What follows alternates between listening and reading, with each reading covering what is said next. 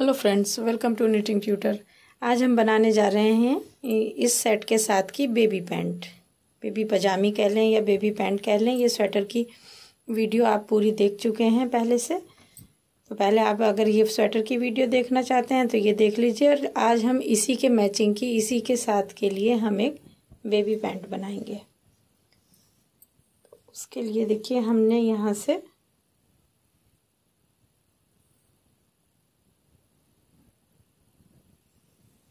ये डेढ़ दो साल से लेके ढाई साल तक के बच्चे को, तीन साल तक के बच्चे को भी आराम से आ जाएगा ये। अगर आपका बच्चा ज़्यादा हेल्दी है तो ढाई साल तक के बच्चे को आ जाएगा।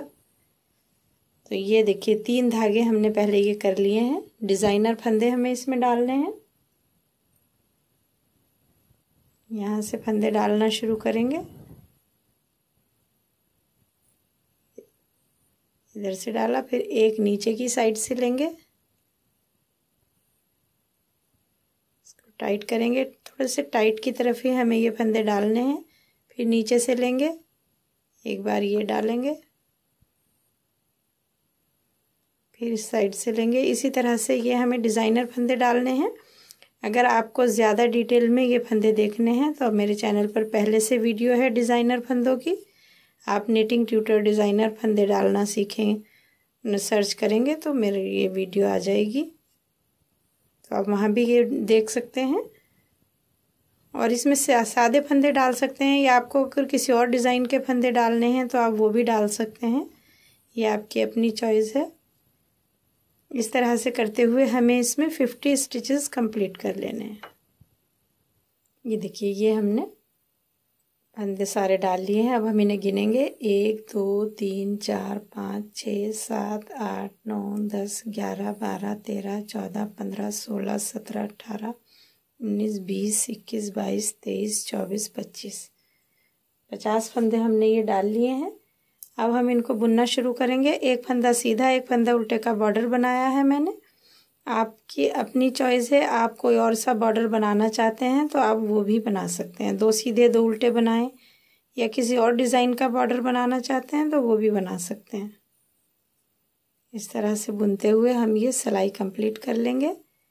एक सिलाई, एक फंदा उल्टा, फिर ये एक फंदा सीधा, धागा आगे लेंगे, एक फंदा उल्टा, धागा पीछे लेंगे, एक फंदा सीधा इस तरह से ये बुनते हुए हम ये कंप्लीट कर लेंगे सिलाई।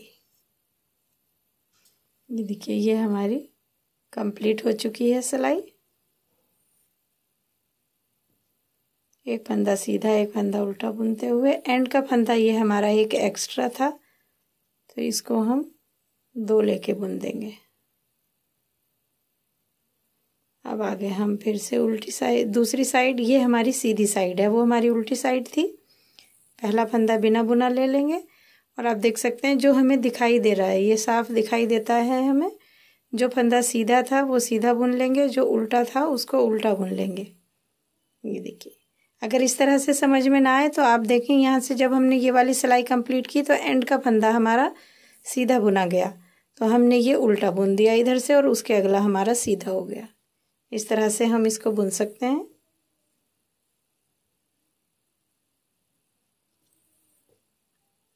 जितना भी लंबा हमें ये बॉर्डर बनाना है, उतना लंबा बना के हम इसी तरह से कंप्लीट करेंगे। सीधे फंदे पर सीधा फंदा और उल्टे फंदे पर उल्टा फंदा। ये कम से कम हम डेढ़ से दो इंच के करीब हम ये बना लेंगे। ये देखिए इस तरह से एक एक फंदा बुन, एक फंदा सीधा, एक उल्टा बुनते हुए हमने ये बॉर्डर कंप्लीट कर लिया है। अगर हम ये देखेंगे, पौने दो इंच के करीब हमारा ये बॉर्डर हो गया। दो दो सिलाई हमने इसमें, एक सीधी, एक उल्टी, ऐसे ही बना ली। बिना कोई भी फंदा घटाए बढ़ाए तो अब हमारा ये पूरा दो इंच हो चुका है, दो सिलाई करने के बाद। अब यहाँ हम दूसरे कलर की लाइन डालेंगे इसमें। वाइट कलर से हम बनाना शुरू करेंगे। जिस तरह से आपने देखा, ये आस्तीनों में हमने पट्टियाँ डाली हैं, क्योंकि हम इसी के सेट के साथ की पैंट बना रहे हैं। तो हमें ये इसी की तरह से हमें लाइनिंग डालनी है इसमें।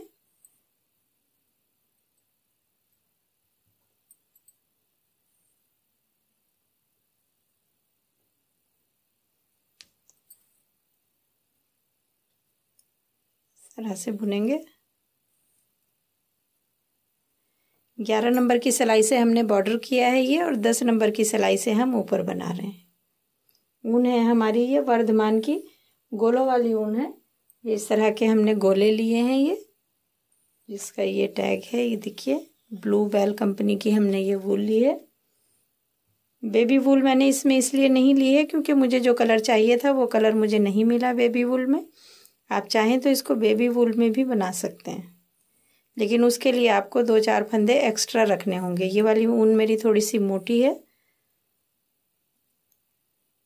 यहाँ से भी जो मैंने ये ग्यारह नंबर से बॉर्डर बनाया है, अगर आप इसको दस नंबर से ही बॉर्डर बनाएँगे और दस नंबर से ही आप इसको ऊपर बनाएँगे तो आप इसमें पाँच फंदे कम रखेंगे।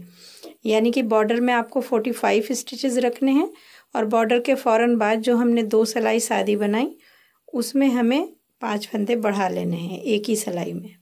तो भी ये बिल्कुल ठीक आ जाएगा। तरह से ये सिलाई कर लेते हैं। हम एक सीधी सिलाई और एक उल्टी सिलाई, उसके बाद हम इसमें फंदे बढ़ाना शुरू करेंगे। देखिए, सीधी सिलाई कंप्लीट करने के बाद अब हमने एक उल्टी सिलाई भी कर ली है ऐसी। बिना कोई सी भी डिज़ाइन के बनाते हुए इसमें हमें पूरी पैंट में कोई भी डिज़ाइन नहीं बनाना है तो इसे बिगनर्स भी बहुत आराम से बना सकते हैं। अब हमें यहाँ फंदे बढ़ाने हैं। फंदे आप जिस तरह से भी आप बढ़ाते हैं, जिस तरह से भी आप बढ़ाने में कंफर्टेबल हैं, आप उस तरह से इसमें फंदे बढ़ाते, बढ़ा सकते हैं। देखिए, मैं कैसे बढ़ा रही हूँ? पहले मैंने फंदा एक बिना बुना लिया, एक फंदा बुन लिया।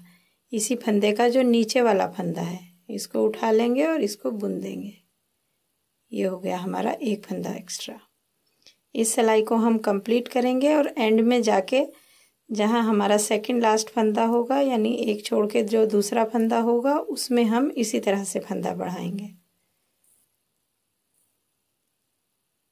हर छः छः सिलाई के बाद हमें इसमें फंदे बढ़ाने हैं। जो पहली सिलाई है, एक सिलाई पर हम फंदे बढ़ा रहे हैं और उसके बाद हमें पाँच सिलाई और बुननी है। उसके बाद हमें फंदे बढ़ाने हैं। यानी छः छः सिलाइयों में हमें इनके फंदे बढ़ाने हैं। कम से कम आठ से नौ इंच तक हमें ये फंदे बढ़ाने हैं और इसी तरह से हम पट्टियाँ डालते जाएँगे। दो पट्टियाँ मैं डाल के दिखा रही हूँ आपको। चार चार सिलाई की पट्टी डाल सकते हैं आप छः छः सिलाई की डाल सकते हैं। आप दो वाइट कलर की ले सकते हैं, चार इसकी या चार वाइट की, दो इस कलर की। अपने हिसाब से पट्टियाँ आप एडजस्ट कर सकते हैं। लेकिन फंदे बढ़ाने में आपको सिलाइयों का ध्यान रखना होगा कि आपको कितनी सिलाइयों के बाद फंदे बढ़ाने हैं। देखिए, ये हमारे दो फंदे रह गए। तो यहाँ ये वाला फंदा हमें नीचे वाला फंदा उठाना है। इसको बुन, यहाँ लाना है। इसको भी बुन देंगे। उसके बाद फिर अगला दोनों अलग अलग करके बुनेंगे। तो ये एक फंदे के दो फंदे बन गए। अब हमने एक फंदा इधर घटा दिया बढ़ा दिया, एक फंदा इधर बढ़ा दिया। अब उल्टी सिलाई हमें पूरी उल्टी कर लेनी है, उसके बाद हम इसका गलत कलर चेंज करेंगे। ये देखिए, अब हमारी ये वाइट कलर की चार सिलाई कंप्लीट हो चुकी हैं। फंदे बढ़ाए हुए हमें दो सिलाई हो गई, सीधी सिलाई पे फंदे बढ़ाए, अगली उल्टी सिलाई हमने पूरी उल्टी बना ली। यहाँ से हम कलर चेंज करेंगे।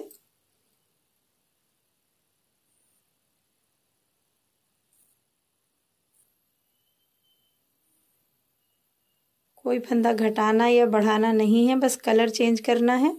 छः सिलाई पे हम फंदे बढ़ाने वाले हैं, दो सिलाई हमारी हो चुकी हैं। तो ये चार सिलाई हम ये वाले कलर से बिना कोई भी फंदा घटाए बढ़ाए बना लेंगे। और उसके बाद जब हम वाइट कलर शुरू करेंगे, तब हम फंदे बढ़ाएँगे।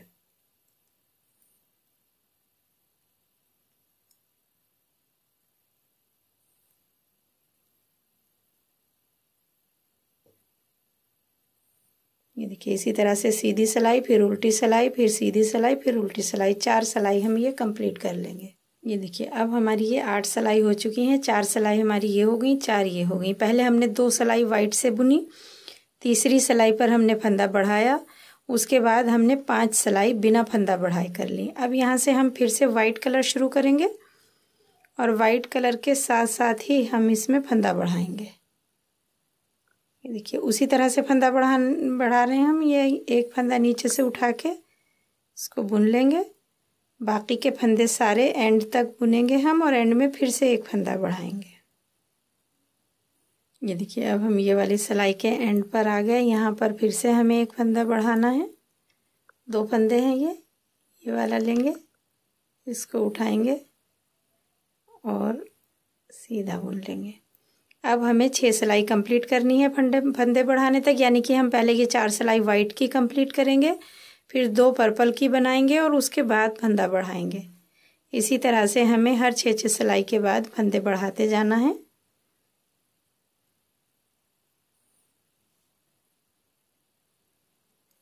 ये हम दूसरी सिलाई कर रहे हैं फंदा बढ़ाने के बाद। इसी तरह से हम इसको छः छः सिलाई में फंदे बढ़ाएँगे। देखिए, ये मैंने एक पैर का पन के रखा है।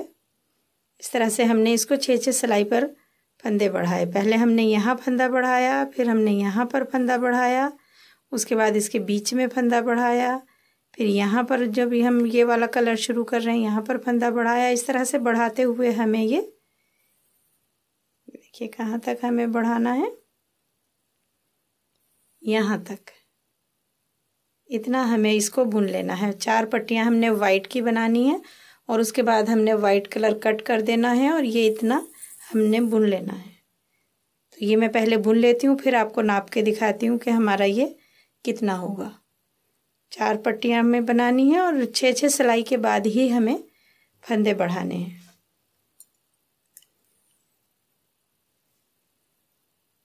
चार सिलाई, चार पट्टियाँ वाइट की होने के बाद वाइट कलर हम बंद कर देंगे और ऊपर को सिंगल कलर से हम बुन लेंगे। ये देखिए, इस तरह से हमने ये पट्टियाँ कंप्लीट करने के बाद इसकी बुनाई कर ली है। यहाँ तक हमने ये सिंगल कलर बनाया। छः छः सिलाई पर हम इसके फंदे बढ़ा रहे हैं। अब ये देखिए, यहाँ से हमें ये साढ़े सात इंच के करीब हमारा ये हो गया है। अब हमें इसमें यहाँ से अगर हम इसको ऐसे ही छः छः सिलाई पर बुन के तैयार करेंगे तो हमारा ये चौड़ाई मुझे लग रही थी कि ये कम है और थोड़ा सा ढीला रहेगा तो ज़्यादा अच्छा रहेगा। अब यहाँ से हम इसकी लंबाई कंप्लीट होने तक हम हर सीधी सिलाई पर फंदे बढ़ाएँगे, एक फंदा इधर और एक फंदा दूसरी साइड। ये एक फंदा बढ़ा लिया, एक फंदा हमें दूसरी साइड बढ़ाना है। कम से कम हम ये आठ से दस फंदे या बारह फंदे इस तरह से हम अब हर सिलाई पर बढ़ाएँगे, कि हमें बच्चे के ऊपर से थोड़ा सा लूज़ चाहिए होती है, पजामी, डायपर वगैरह पहनते हैं बच्चे तो इसलिए हमें ये फंदे बढ़ाना ज़रूरी है। इससे ज़्यादा भी अगर आप रखना चाहते हैं तो इससे ज़्यादा भी रख सकते हैं। अभी मैं आगे बताऊँगी कि अगर हमारी लंबाई कम, लंबाई कंप्लीट हो गई और हमें ये लग रहा है कि हमारे फंदे अभी भी कम रह सकते हैं तो हम उनको किस तरह से बढ़ाएँगे। वो भी मैं भी आगे बताऊँगी। पहले हम ये सिलाई कंप्लीट करके जो लास्ट का सेकंड लास्ट फंदा होगा, उस पर हम फिर से फंदा बढ़ाएँगे। और ये हमें हर सीधी सिलाई में बढ़ाने हैं अब। इसकी लंबाई कंप्लीट होने तक। फिर मैं एंड में बताऊँगी कि हमारे कंप्लीट फंदे कितने हो गए हैं।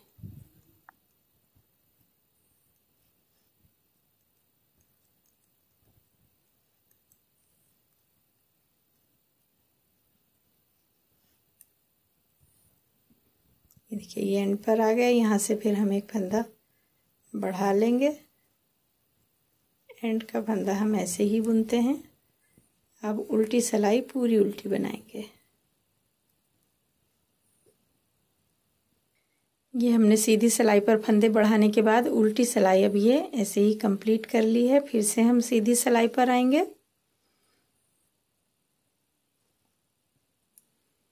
और यहाँ से फिर से फंदा बढ़ाएँगे।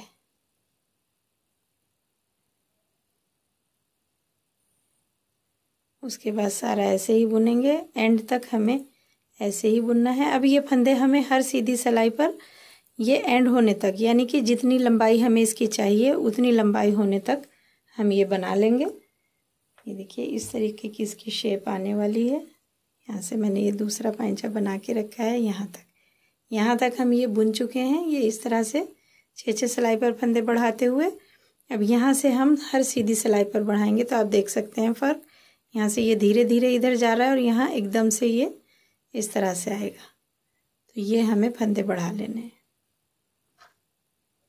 ये देखिए, अब हमने ये फंदे बढ़ा के कर लिए हैं कंप्लीट। आप देख सकते हैं, ये इस तरीके से हमारे फंदे बढ़ गए। अब हम ये फंदे गिनेंगे।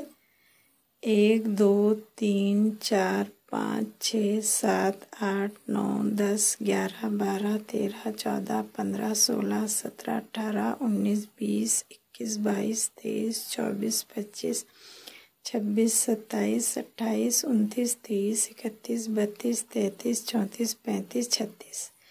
थर्टी सिक्स के डबल हमारे ये हो गए, सेवेंटी टू स्टिचेस। अब हमें यहाँ से ऊपर कोई भी फंदा ना घटाना है, ना बढ़ाना है। घटा सकते हैं आप दस दस, पंद्रह पंद्रह सिलाई के बाद। दोनों साइड से एक एक फंदा, लेकिन बढ़ाना नहीं है कोई भी फंदा। लेकिन जो मैंने ये बुनाई की है, मैंने इसमें कोई भी फंदा घटाया या बढ़ाया नहीं है। देखिए, यहाँ तक तो हमारे ये फंदे बढ़े और इसके ऊपर हमने बिना कोई भी फंदा घटाए, बढ़ाए, इसको कंप्लीट किया है यहाँ तक। तो इस तरह से हम इसको कंप्लीट कर लेंगे। अभी हम ये देख लेते हैं, हमने ये कितने इंच बनाया है। ये देखिए, ये नौ इंच के करीब है हमारा। अब इतना ही हमें इसके ऊपर बुनना है, क्योंकि कम से कम आठ इंच का हम इसका आसन रखेंगे और एक इंच में अंदर मोड़ने के लिए बनाऊँगी। अगर मोड़ना नहीं है तो वो भी मैं एंड में बताऊँगी कि हमें किस तरह से करना है। अगर हम डोरी डालना चाहते हैं, मोड़ना नहीं चाहते तो वो भी दिखाऊँगी मैं किस तरह से बनाते हैं। अभी हमें यहाँ पर कोई भी फंदा बढ़ाना नहीं है। इसी तरह से हम बुनेंगे। दोनों साइड से, सीधी साइड से सीधी सिलाई, उल्टी साइड से उल्टी सिलाई, बिना कोई भी फंदा घटाए और बढ़ाए हुए हम ये बुनते जाएँगे।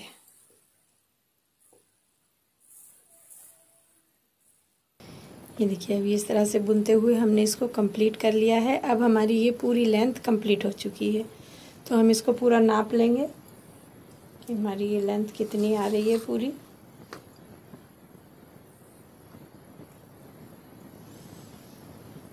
ये देखिए, ये हमारी अट्ठारह इंच आ रही है।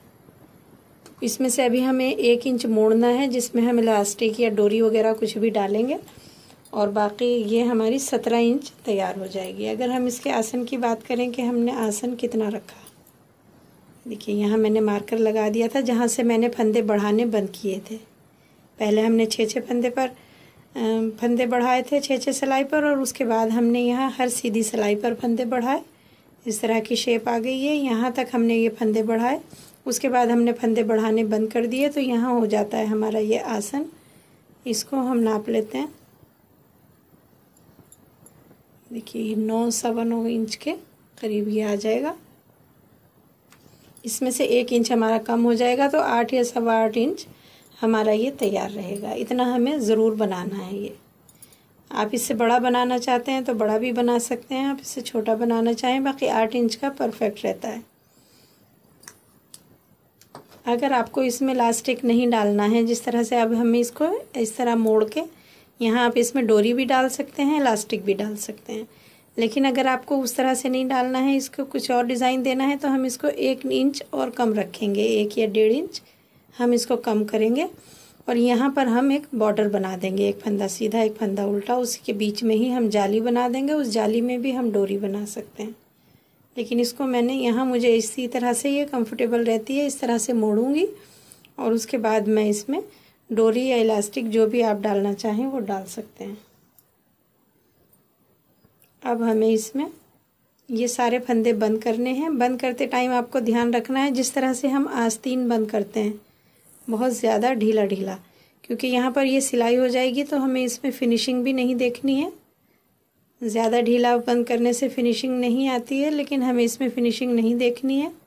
बस जितना ज़्यादा ढीला हो सकता है, उतना ज़्यादा ढीला हम इसको बंद करेंगे। इस तरह से दो फंदे लेंगे, एक करेंगे, फिर ये वाला फंदा इधर ले लेंगे, फिर एक करेंगे। इस तरह से हम ये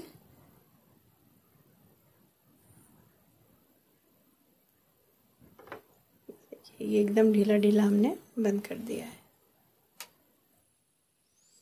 ये देखिए, ये ढीला ढीला बंद करते हुए हमने कंप्लीट कर लिया है इसको। अब हम इसकी सिलाई करेंगे, पजामी हमारी कंप्लीट हो चुकी है। दोनों ही साइड बिल्कुल सेम तरीके से बनाने हैं, कुछ भी ज़रा सा भी फ़र्क नहीं करना है।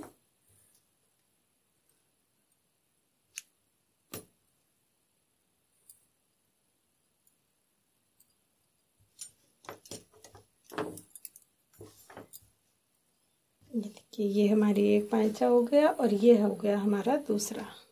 दोनों सेम तरीके से हमने इसको बना लेने हैं। अब हमें इसकी सिलाई करनी है तो देखिए सिलाई किस तरह से करेंगे? इस तरह से हम रखेंगे। ये हमारा एक पैर का हो गया, ये हमारा, ये हमने सीधी साइड ऊपर रखी है, दूसरा पैर हो गया, उल्टी साइड ऊपर रखी है। अब ये इधर बाहर की साइड हमारी उल्टी साइड हो गई और अंदर हमारी सीधी साइड हो गई। इस तरह से हम यहाँ से सिलना इसको शुरू कर देंगे। अभी मैं ऐसे ही आपको ये मार्कर पिन लगा के दिखा देती हूँ। शुरू करना भी दिखा दूँगी मैं किस तरह से हमें इसको सिलना है। तरह से हम इसको सिल लेंगे। ये देखिएगा, जहाँ से हमने ये फंदे बढ़ाने बंद किए, और इसी तरह से हमने यहाँ देखना है। ये हमने यहाँ मार्कर मैंने नहीं लगाया तो हम ऐसे ही देख लेंगे इसको, और यहाँ से इसको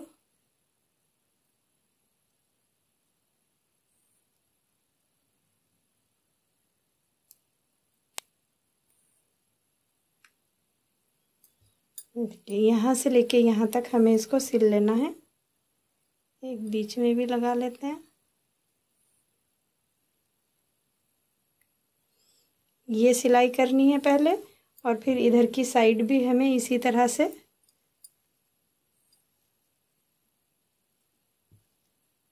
ये मैं सिर्फ़ बताने के लिए दिखा रही हूँ आपको कि किस तरह से हमें इसको सिलना है। यहाँ पर और फिर ये देखेंगे। यहाँ।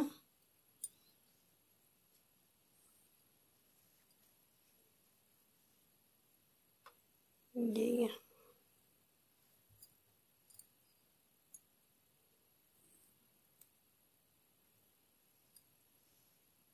इस तरह से यहाँ से लेके यहाँ तक हम इसे सिल लेंगे और यहाँ से लेके यहाँ तक इसको हमें ऐसे ही सिल लेना है।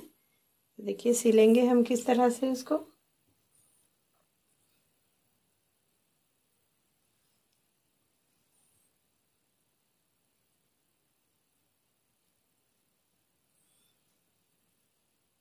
ये हम लेंगे, जो हम ये बिना बुना फंदा लेते हैं। इसको हम सुई में लेते हुए ये वाला फंदा इधर लेंगे। सिंगल पीस है, सिंगल हम इसका नहीं लेंगे, वरना इसमें मजबूती नहीं रहेगी। इस तरह से पूरा फंदा लेना है हमने ये दोनों साइड।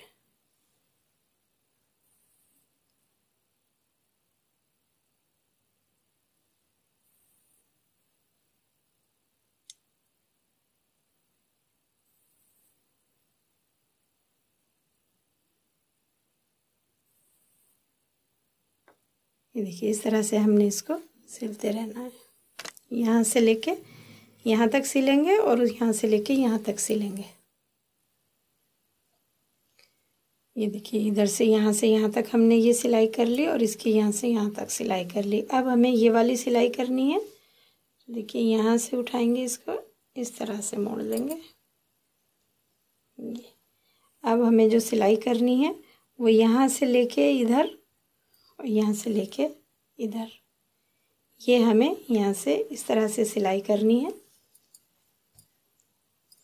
अगर आपके पास ये ही धागा छूटा हुआ है तो आप इसी को लेके सिलाई कर सकते हैं, और अगर ये नहीं है तो अलग से सुई में धागा डाल सकते हैं।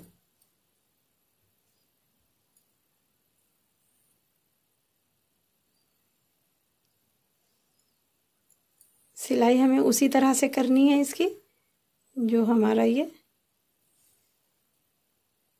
पहला टाका हम ऐसे ही कहीं भी लगा देंगे और जो हम ये बिना बुना फंदा लेते हैं उसको लेते हुए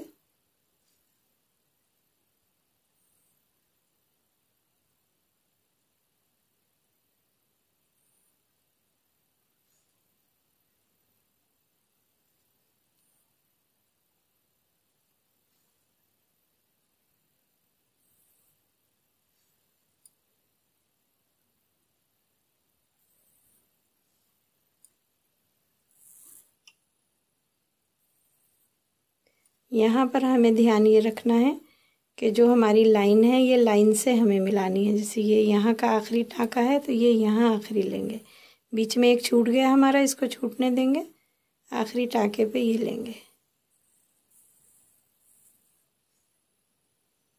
यहाँ हम, चाहे तो आप इसी धागे से भी सिल दें, चाहे तो जो कलर का जो है, ज़्यादा फिनिशिंग उसी में आएगी, जिस कलर का जो पट्टी है, उसको उसी कलर से सिली जाए। लेकिन मैं यहाँ अभी ऐसे ही सिल के दिखा दे रही हूँ। बस हमें ध्यान ये रखना है कि पट्टी ये एक दूसरे से मिली रहे, आगे पीछे ना हो। कि जो इधर पर्पल धागा उठेगा फंदा, इधर भी पर्पल ही लेना है। फिर इधर पर्पल उठेगा, यहाँ भी यही लेना है। जो वाइट आएगा, उसको वाइट में लेना है। ये ध्यान रखना है हमें, तभी ये पट्टियाँ एक जगह आएँगी।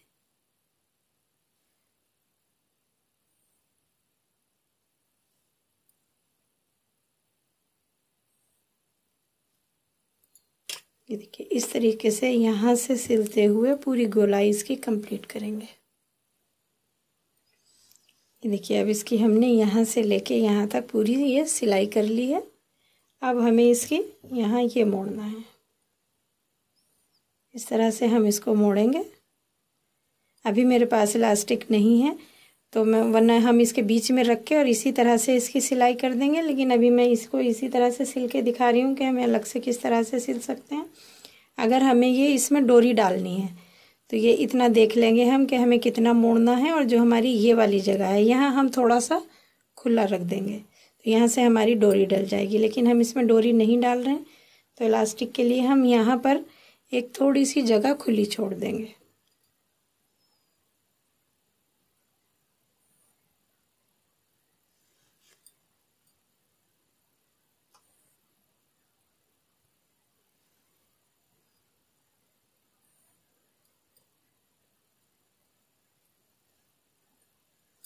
ये देखिए, इस तरह से मोड़ के हम, जिस तरह से हम ये तुरपाई करते हैं, उस तरह के टाँके हम इसमें लगाएँगे। एक धागा यहाँ से उठाएँगे और एक ये जो हमने बंद किया है।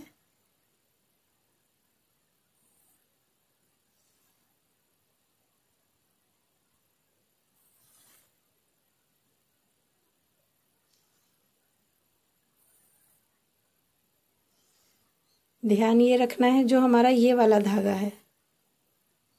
ये देखिए, इस तरह से हम इसको बिल्कुल भी खींचेंगे नहीं। इस तरह से ढीला ही रखेंगे। अगर खींच देंगे तो ये पहनाने में अनकम्फर्टेबल हो जाएगा। तो हमें इसको ढीला रखना है। इस तरह से हम इसको सिल देंगे। ये देखिए, इस तरह से हमने इसको चारों तरफ़ से सिल लिया है। और यहाँ पर हमने ये थोड़ी सी जगह खुली छोड़ी है। यहाँ से हम कोई भी इलास्टिक वगैरह जो भी हम डालना चाहें, वो डाल सकते हैं। अब हमें इसको सीधा कर लेते हैं। हमारी पजामी हो चुकी है कंप्लीट। ये देखिए, इस तरह से। ये दो से ढाई साल, तीन साल तक के बच्चों को भी आराम से आ जाएगी। वो आपके बच्चे के हेल्थ के ऊपर है या साइज़ के ऊपर है। कई बच्चे छोटे होते हैं हाइट में, कई बड़े। तो ये तीन साल तक भी आ जाएगी। ये वरना एक मैंने जो बनाई है ये, एक साल से लेके दो ढाई साल तक के बच्चे के लिए मैंने इसको बनाया है। यहाँ के फंदे भी आप हेल्थ के हिसाब से बच्चे की थोड़े बहुत कम ज़्यादा कर सकते हैं। कम ज़्यादा ना कर कम ना करें, लेकिन अगर ज़्यादा करना चाहते हैं तो आप यहाँ पर दो दो फंदे दोनों साइड से एक बार और बढ़ा सकते हैं, एक ही बार में। तो ये देखिए, उम्मीद है आपको ये अच्छे से समझ आ गई होगी। अगर हमारा ये सेट बन के हो चुका है कंप्लीट। देखिए, इस तरह से हमारी इसकी लुक आएगी।